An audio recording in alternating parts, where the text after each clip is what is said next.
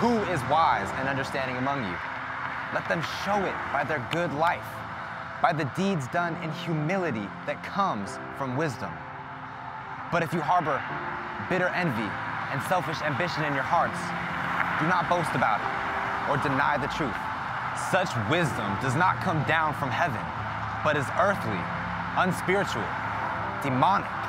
For where you have envy and selfish ambition, there you will find disorder and every evil practice. But the wisdom that comes from heaven is first of all pure, then peace loving, considerate, submissive, full of mercy and good fruits, impartial and sincere.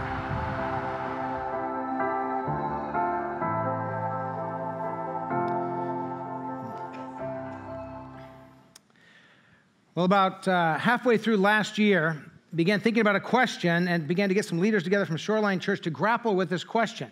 It's an important one. It seems like a simple question, but it's very complex.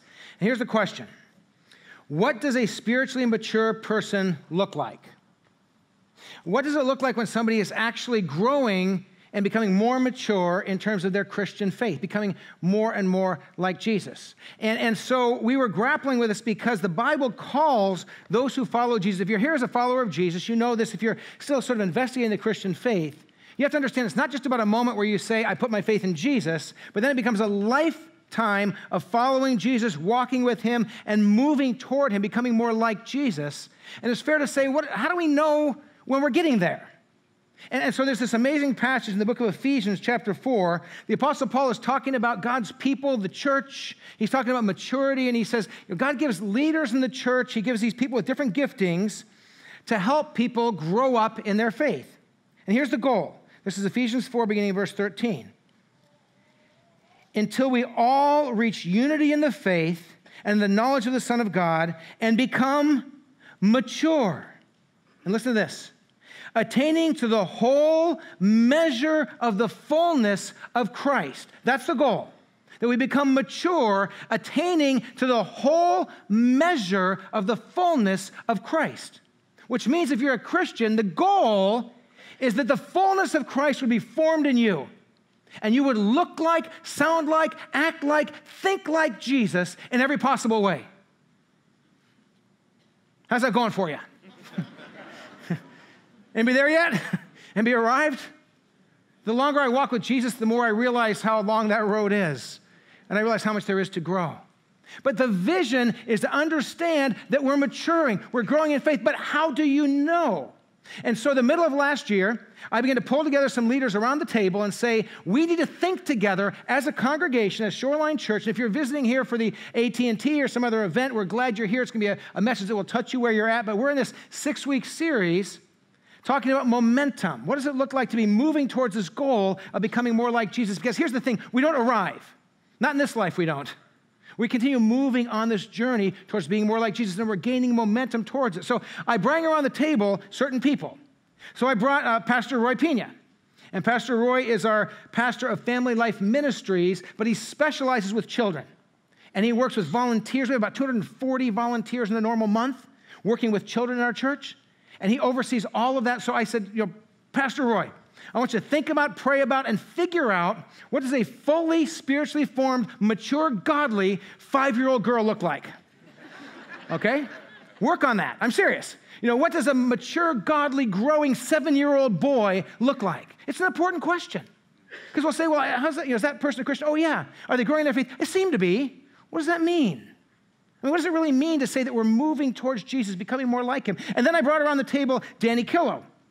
Danny oversees our middle school ministries. He invests in and pours into, with a bunch of parent volunteers and other volunteers through home groups and here on our campus, middle school kids. Danny, what does a mature, godly, growing with momentum, you know, young Christian woman in seventh grade look like?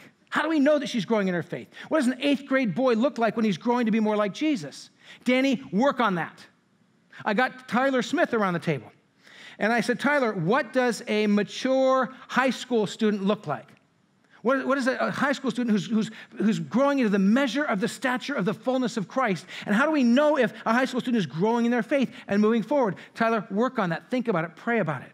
I pulled Nate Harney around the table because Nate works with our young adults here at the church.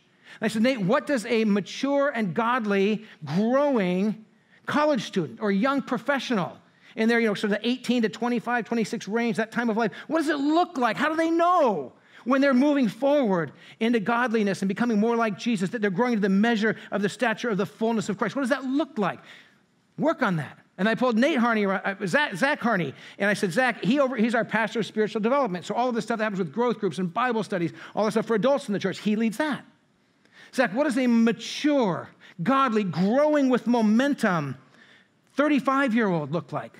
45 year old, 75 year old, 95 year old. And I had all of them over a five month period asking the question for their area. And then I brought them together every month and I said, let's talk together, let's pray together, let's think together. What are the common things that we think can in, be indicators that we're heading in the right direction? So that we can share it with the whole congregation and we can build our ministry for the years to come around a pathway that gets us walking towards becoming more like Jesus. Sounds kind of like an exciting process, doesn't it? So we've been doing this for about, for about six months now, and this series grows out of that. This series is really the, the six primary indicators or markers that a five year old girl or a 95 year old man could all look for in their lives and say, Am I growing to be more like Jesus? Am I becoming more like him in very specific, noticeable ways?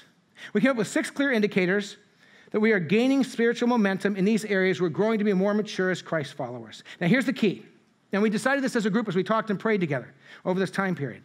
We are not talking about arriving, but about momentum in the right direction.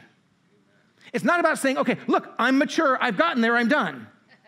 But in this life, if you're a follower of Jesus or if you become a follower of Jesus, the goal is to start on a journey where you're gaining momentum and you're moving towards Jesus, becoming more like Jesus, thinking like Him, feeling the way He feels with His heart, living like Jesus would want you to live, and you're becoming more like Him. And for some people, that journey looks kind of like this. And they may move kind of slowly, and just because of challenges in life, things there's I'm just battling to take, but they're but they're moving forward. Praise God. For some people, they're moving a little bit more rapidly. But the key is that we don't compare to each other. The key is that we have spiritual momentum, that we're going, we're moving towards Jesus. And when we get further down the road, we can look back and say, look, I'm, I'm growing, I'm moving in the right direction. And it's going to be different pace. It's going to look different for different ones. But there's these six indicators, these six markers that we all of us came up with for every age group. So last week, we started talking about this. And, and Pastor Zach talked about this momentum one, the first thing, character, that looks more and more like Jesus. And he talks specifically about humility and less pride. Godly, Christ like humility and less pride. But, but the first thing we realized was this, and this is what Zach started us off with last week our character and our hearts have to change. Because if they don't, and we do a bunch of good spiritual stuff, but our hearts are rotten, guess what? It's just not good. We do all kinds of spiritual things. So we say, okay, here's some markers of spiritual, spiritual maturity. And people start doing them, they start saying, oh man, I am so much more spiritually mature than you.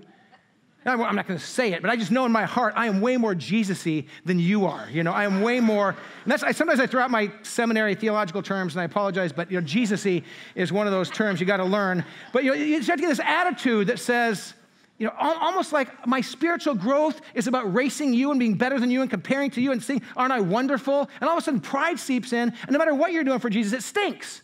Because you're so we started last week with with our heart and our character. When, when you're getting spiritual momentum and you're following Jesus more clo- closely, you're becoming more like him. His character marks your character. The fruits of the Spirit begin to grow in you with love and joy and, and, and self control. And all, you, know, you have the character of Christ, and humility marks everything you do. And pride becomes less and less the focus, and a humble heart like Jesus becomes who you are. And when that's happening, the other five markers can make sense. And if it's not, and you start doing the other things with the wrong heart, it just starts to be a real mess. So we started there, and if you weren't here last week, go online, watch that sermon, kind of get caught up with us on that first topic of character being changed to be more like Jesus.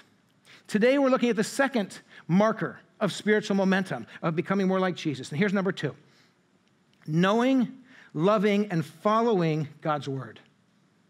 Knowing, loving, and following God's word. If you want to know that you're making spiritual momentum, you're heading towards Jesus, you find yourself, you're knowing the word of God more, you're opening it, reading it more, you're learning from it.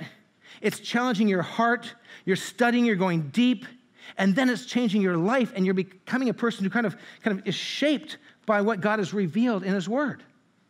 And whether you're a five year old or a 95 year old, you should be moving down a road of knowing this book. If you're a Christian and you say, Am I growing as a Christian, as a follower of Jesus? One of those markers is this you're going to know and love and follow the Word of God more closely. And so each week we're going to talk about the, the idea of how right thinking impacts right living. And, and the, the theolog- and these are actual official theological terms. Uh, Jesus-y isn't, just to let you know, that's just sort of a, a word. But these, uh, the two words are orthodoxy and orthopraxy. Orthodoxy and ortho, and I've introduced these words before, but I want to touch on them again.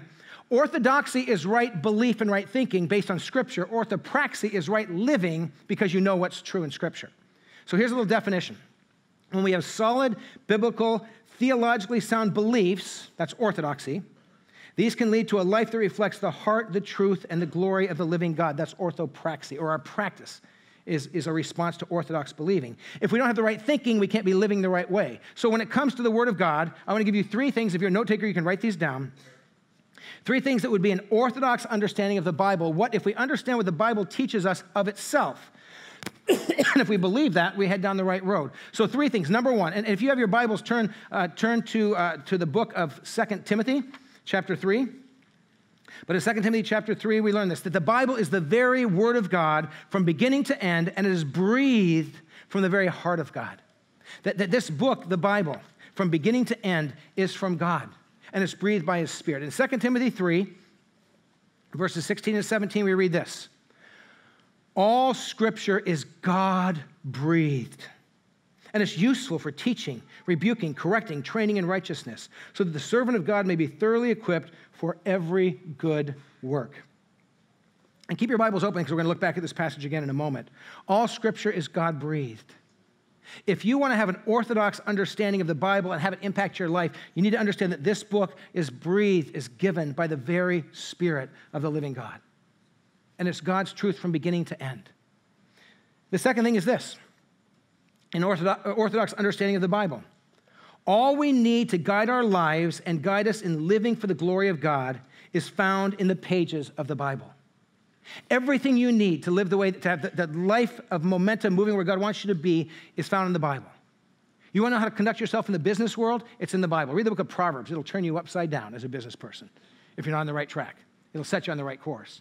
If you want to know how to function in relationships, how to deal with conflict, if you want to know about understand marriage, the Bible answers these questions for us. Now, some of you might say, well, wait a minute, time out, time out. You know, how does the Bible say who I'm supposed to marry?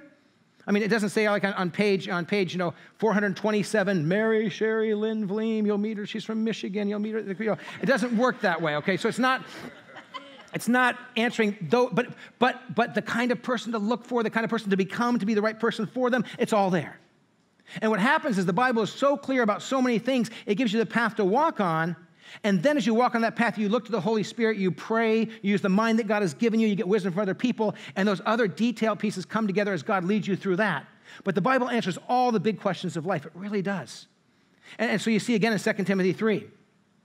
All scripture is God breathed and is useful, listen this, for teaching, so to instruct us, for rebuking, showing us where we're off track, for correcting, getting us back on track, and for training in righteousness to make us righteous people, so that the servant of God may be thoroughly equipped, I love this, for every good work. All that God wants you to do, it's laid out here in His Word. That's orthodox understanding of the Bible.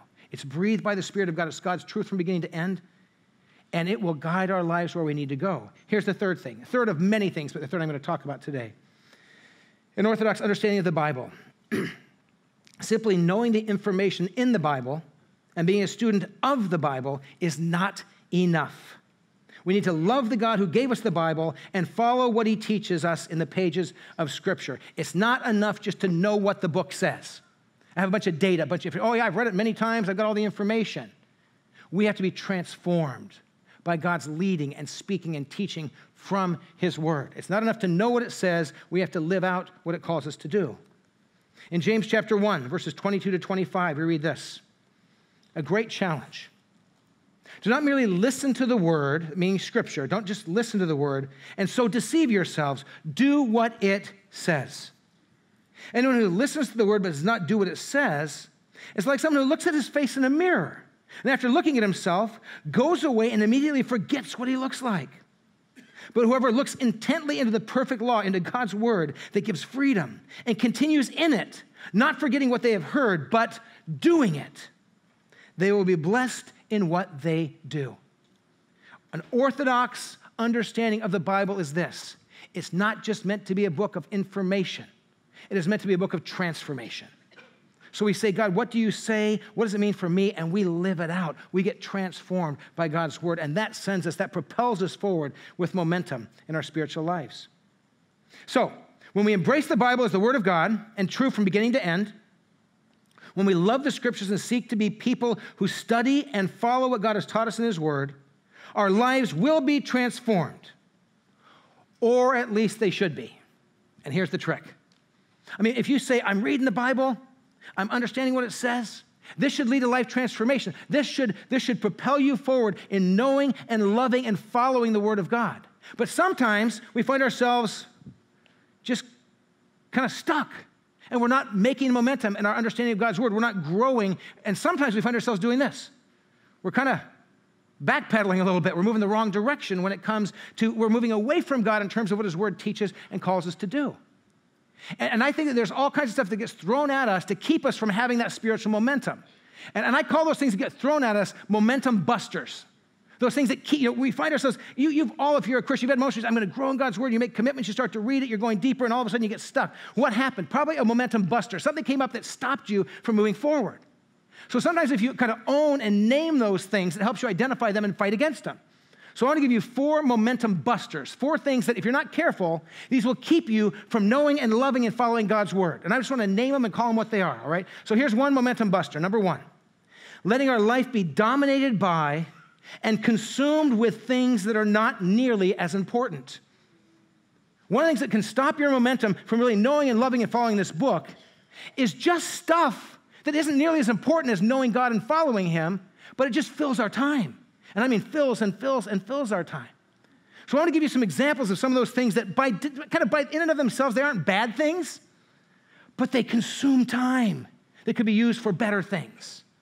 And I'm hoping in the next couple of minutes to irritate, bug, or offend everybody. And if I don't, talk to me afterwards, and I'll trust me, I'll offend you. Uh, so, but I want to I want to give you something that you might stop and go, you know what? If I'm honest, I get kind of caught. I spend a lot of time on that and it's not as important as really growing to know Jesus more. So here's some of those things that, that may kind of dominate or consume our time. Here's one Netflix, YouTube, Hulu, TV and movies, binge watching, um, that's a new term in America, binge watching. People who will, will watch show after show after show, sometimes for like 10 hours, 15 hours, 20, 25, 24, 40. People for like for two days straight gather and watch a show, show after show after show after show after. And I'm not saying that isn't deep and meaningful and rich. I'm just saying uh, it might not be the best thing you could do with your life. Um, so, so, but there, and again, there's nothing wrong with watching a TV show as long as it's not, you know, something that's perverse or horrible. But just, but it's, it's just, it fills time. Uh, Nielsen who rates TV shows and monitors American consumption of media, came up with this. The average American, and this, this was shocking to me, the average American over two years old, this starts with three year olds, okay? Average American from three year olds and up spends an average of 32 to 40 hours a week consuming media. 32 to 40 hours a week, or 160 hours a month of just watching stuff. Average American. Might that, I'm just spitballing here, but might that 160 hours, part of it at least, be used more productively? I'm just, I'm just saying maybe. Anybody? Maybe? Um, apparently not. Um, but, but, you know, that, but that's one of those things. And for some of you, you spend a lot of time doing that. And, the same, same person who says, you know, I just, I just can't get in the, I just don't, I just can't make time to get 15 minutes a day to read the Bible or 20 minutes a day to read the Bible, but they're watching five hours of media a day. You go, is that, is there something maybe wrong there? I, I think there might be. Here's another one, just to offend another group of folks. Uh, video games. Video games. You go online for video game addiction in Monterey, and I actually saw a list of all different counselors that work with people with video game addictions. Two of them go to Shoreline. I actually recognize their pictures. Um, not, not, the, not the addicts, but the counselors. there's, there's nobody at Shoreline struggling with I'm talking about other churches here, not Shoreline. But, um, but video games. There's people that will spend hours every night consumed with video games. Now, playing a video game isn't by definition evil, but if you're spending a big chunk of your life and you're not growing in God's word, maybe you could think how you're using your time. So, for another group of you, social media, Twitter, Instagram, Pinterest, Facebook, Snapchat, and it goes on and on and on. Some of you go, oh, yeah, I would never sit and watch TV. But you're just, you know, and you're posting and you're picturing and, you're, and your whole life, you can't go five or 10 minutes without having to be consumed with that. And maybe, just maybe, there's other ways to spend your time that may be more valuable. And that's not that that's bad or wrong, but you could say, I can tone it down a little bit. Now, to offend myself, um, sports, watching, following, playing, reading about, statistics, all that information. You put any sport event in front of me, and I'm just, I'm in, I'm watching, I'm there. I have, to be, I have to be careful of that. But you have people that spend huge amounts of time consuming sports stuff. And they say, well, that's a good thing, isn't it? Yes, it is to, up to a point, right? And you get the idea, right? This is all up to a point. Even reading, even with books. You know, reading by definition is a good thing. It grows the mind, right? But, but you can, you're, even that, I know I have to be careful when I start reading in a series of books because if I start reading, I started reading, I read a science fiction book a while back that was part of a quintet. So I'm, I'm reading on my iPad, so there's five books. And so I read the first one, and when I finish reading it, you know what pops up? Would you like to buy the next book in the series? Yes, I would. And so I buy it. And that was like 600 pages. I read that one. Would you like to read book three in the series? I absolutely would. And like three months later, I'm not, I'm like, man, I just filled in all the cracks of my extra time with, with reading. And it was, a, it was an interesting book of, you know, series of science fiction books, but I, I went, wait a minute, is that, do you understand what I'm saying? There's nothing wrong with it, but I have to keep a balance there. And if you've got some other area that is for you, just fill in the blank there. Sometimes our spiritual momentum when it comes to God's word gets as a momentum buster and gets stopped because just because of stuff that's not bad, it just takes a lot of time.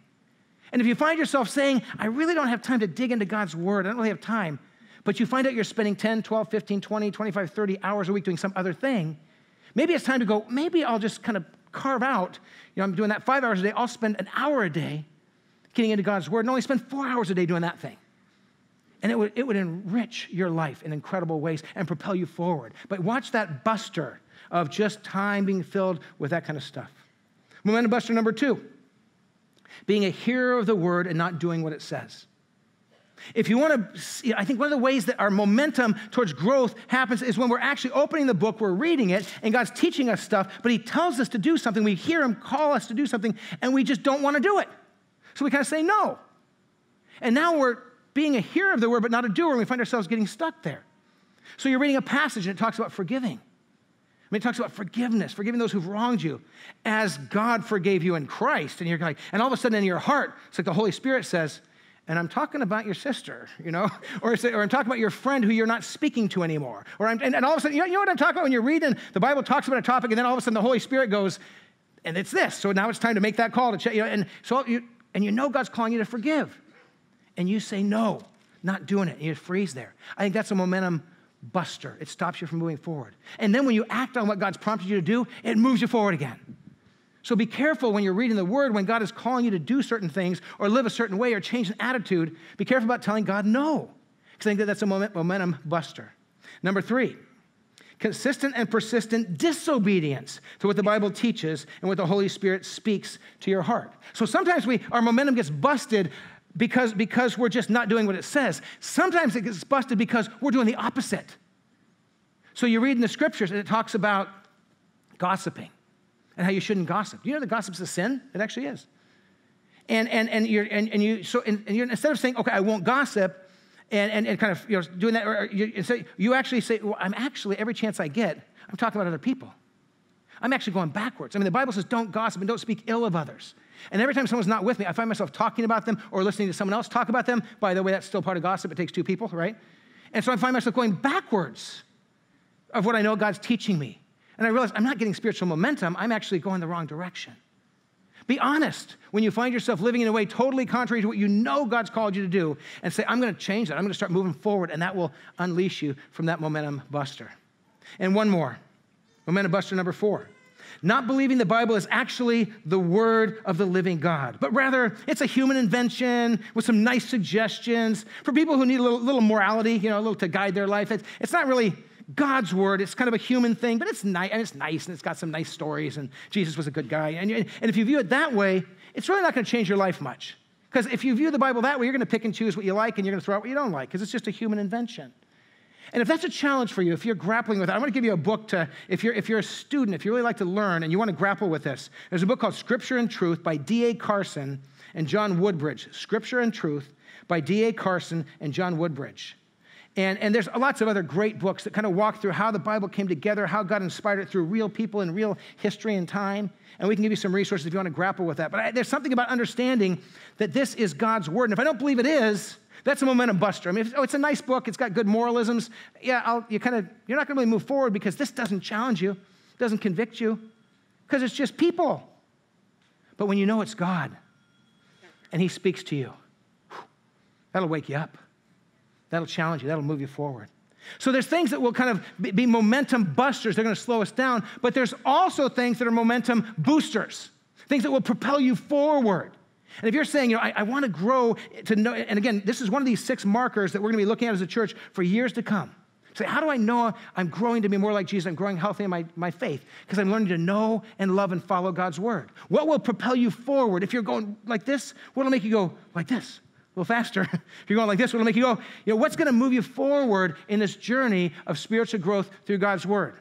And here's some momentum boosters. And if you're a note taker in your outlines, there's a place to kind of fill in some stuff here on the momentum boosters. Number one, have your own Bible, open it every day, and including at church. I would encourage you to bring your, to get your Bible and bring it with you to church. If you don't have a Bible, you can go to our cafe. We sell Bibles uh, in our cafe, and we basically do it at our cost for the cost of the Bible and whatever we did for you know, shipping to get it here and all that and handling. But it's basically we do it for no, making no profit on sales of Bibles. We have study Bibles and a lot of good Bibles. And if you just say, I really don't want to buy a Bible, but I'd like a Bible, go by the Connection Center. They will give you a free Bible. And it's the exact one we use here on Sundays, same, you know, same translation. So if you want to buy one, check those out. If you want a free one, but we want to make sure everyone has a Bible. And I would challenge you, bring it with you when you come to church and take some notes in your Bible. Keep learning that way. And also open it every day. And that leads to the second thing momentum booster number two. Not only having a Bible, not only opening it, but here, this is it reading it and studying your Bible. You're going, well, I can open it. That's easy. I'm talking about reading it and studying your Bible. Have a good study Bible and a good commentary. If you want to go deeper, uh, so this is kind of interesting. Here's my study Bible. This is my NIV study Bible, exact same translation.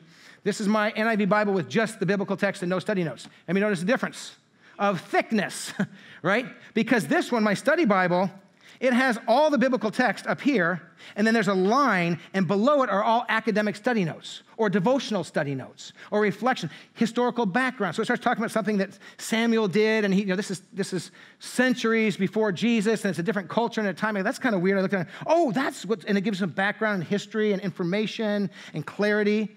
And so I would encourage you to get a good study Bible. And again, we have probably 20 different study Bibles. They're all NIV in our, in our cafe. Uh, and then also a good commentary. And this one, the NIVAC, the NIV Application Commentary Series, there's one of these on every book of the Bible. Some of them have more than one book in them. This is like the Gospel of Mark, and it's all going deeper into the Gospel of Mark.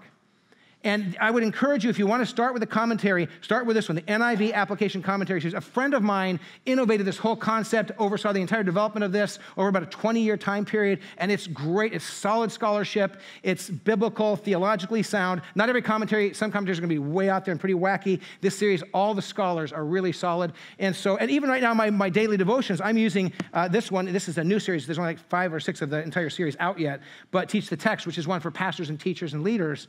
And I use it. I'm using this every day with my, I'm going second time through First Corinthians uh, in over the last month or so, and I use this every single day. And it gives me deeper insight to what the scriptures say. This isn't the word of God, this is a person's thoughts, but a brilliant scholar giving perspective on the background so that you can study and go deeper than just reading, but studying and knowing God's word more thoroughly and more strongly. So read and study your Bible it's the second thing.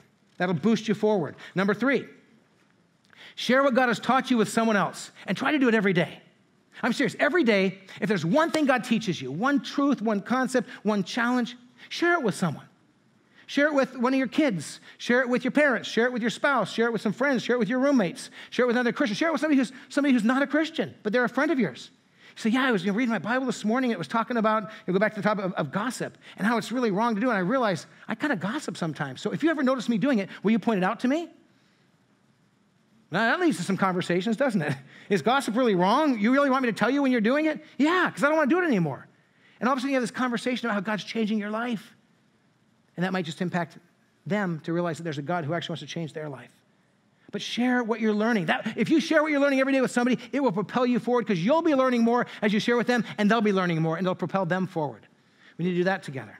Number four, momentum booster. Be tenacious and relentless about life application and action that grows out of Bible reading and study. Be a doer of the word, not a hearer only. Moved, if God teaches you something, if God challenges you to change this attitude, to stop this action, to start doing this good thing, take action. When you take that action, it will propel you forward and you'll become more and more the person God wants you to be. And then, number five, the last one, is use a simple process for personal Bible reading.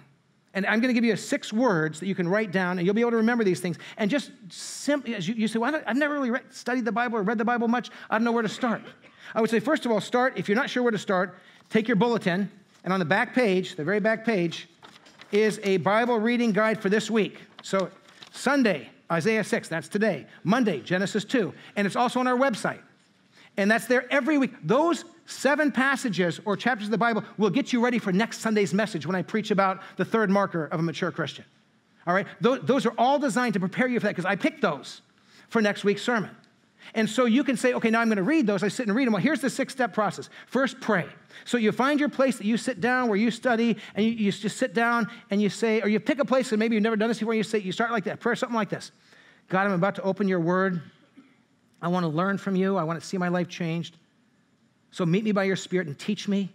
Make me a different person because I've been in your word today. In Jesus' name, amen.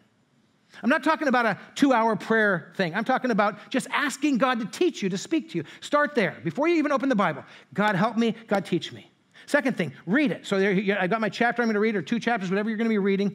You read the passage, asking God to speak to your heart. Number three, you study which means you can use some study notes from your, from your study Bible, or you can use a commentary, or you can do some, some diff, different, you know, go in deeper and saying, what's going on behind the scenes? So you're reading the passage again, but this time you're kind of being more reflective. You're trying to get historical background, setting, more of the storyline there. And then apply. So what? Say, okay, God, so what?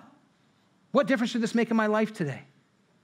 Every day when I open the Bible, there's something that God gives me as a so what. Something in my attitude, something, in, something new to do, a way to love, a way to care, a person to communicate with in some way, to apologize to or to check in with.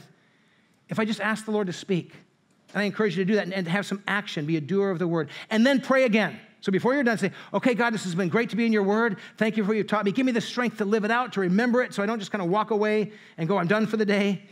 And Lord, in some way, make me come, become more like Jesus because I've been in your word. And then tell someone, share something you learned. If you do those six, six things in the course of a day, it will propel, I mean, that is a momentum booster. And I think that one of the strongest ways to grow your faith and become more like Jesus is to know his word, to love his word, and to live it out. So here's three questions you can ask yourself periodically to see how you're doing in this area of your life. Questions to help me discern if I'm gaining spiritual momentum in my relationship with Jesus when it comes to knowing, loving, and following God's word. Now, watch how simple these questions are. Do I love the Bible more today than I, do, than I did six months ago? And because if you're getting into this word, you you don't worship it, you only worship Jesus, but you can love his truth. So, am I loving God's word? Do I, get, do I get excited to dig into it and let him speak to me? Second question Do I know more scripture than I did six months ago? Do I just know more? Do I understand more of what God's word says? Because when I know it, it allows me to then be able to live it. And then, third, is my life different today than it was six months ago? Because I'm reading and following the teaching of the Bible. And how have I changed? You, you want to see your spiritual life, if you're a follower of Jesus or if you become a Christian, you want to see your spiritual life be propelled forward. You be walking down the road, walking with Jesus, growing in His Word, making time for it, studying it, digging in, praying about it, living it out, sharing it. And you get to a certain point where you stop and you look back over the last two months and three months and six months. And you say, man, I'm not the same. I'm loving people in a different way. I'm thinking about people in a different way. I know more of God's love and God's grace. I'm sharing His love with others more freely. And you say, that's, that's momentum. It's not that I've arrived, I don't think we arrive till we see Jesus face to face. But I think he takes delight, and we should too, when we're moving forward. And your pace is to be different than mine. If you're just going to look different than me. But if you're walking towards Jesus, growing in his word, loving it, studying it, following it, man, that will propel you forward, whether you're five or 95. And that's what God wants for you to be growing into, to, into the maturity, to the measure of the stature of the fullness of Jesus. We're not there yet, but we're getting there. Amen? Amen. Let's pray. Lord Jesus, thank you for your people here at Shoreline Church in this room, in the, in the Parkside room, in the cafe, in different parts of the world, wherever you've scattered us, Lord, in each of our services. Lord, we're, we're your people together. Thank you for those that are here today that have still not yet received Jesus, but they love coming to Shoreline or they're here for the first time. And I pray that they would see that the Christian faith isn't just kind of saying, I'm in the club, but it's a transformed life, a relationship with you. Thank you for being with us, meeting us here. Let these truths over these weeks of this Momentum series sink deep in our souls and make us different people because of them. We pray this in Jesus' name. Amen. I want to hand our venues off to their venue pastors. And can I tell you, this week, there's two things going on this week that you're going to want to know about uh, that'll help you grow in your faith. This Wednesday is night of worship right here in this room at 6:30. I'll do about a 40-minute message on the, the justice and the holiness of God. And we're going to have a worship time. It's going to be amazing. This is we're going to share communion together. It's our in-depth kind of congregational worship time, learning time once a month. It's this Wednesday night, 6:30. Come and join us, night of worship. And then Thursday, in the Parkside room over here, is leadership community. If you are a leader in any context, and you want to grow stronger as a leader, it's a free training time. Join us at 6:30. We have four leaders from our community that are going to be in a, in a panel. We've got we're going to be watching a video of a top leader, and we're going to be talking about learning to lead better. And so come join us on Wednesday night, night of worship, Thursday, the leadership community. If you want prayer, these folks up along here along the walls are here to pray for you. Please let them do that. And if you're new at Shoreline, do us one simple thing. On your way out, go out these doors to the left to the Connection Center and just say, I'm here for the first time or I'm new, I've never come to the Connection Center. They want to answer your questions, give you a little gift. Thank you for coming and kind of bless you and get to know you. So make sure you see them before you leave. God bless you. Have a great week and open the book every day and see if God teaches you and transforms you. Amen? Amen. Have a great week.